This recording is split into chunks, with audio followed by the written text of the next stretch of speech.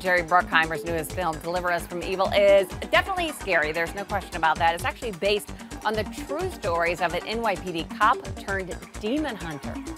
I've seen some horrible things, but nothing that can't be explained by human nature. Mommy. I think we enjoy paying money to go and sit down in the movie theatre and, and have the pants scared off us, and, and that's what we have aimed to do here.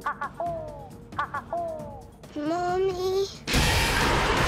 Eric Bana is the detective battling demons. Olivia Munn is his wife. We aim to, to deny you of sleep, to uh, basically punish you. That's what we're here to do. So, could this film pull a box office upset? The Hollywood Reporter's Matthew Belloni explains why horror is hot. Three, two,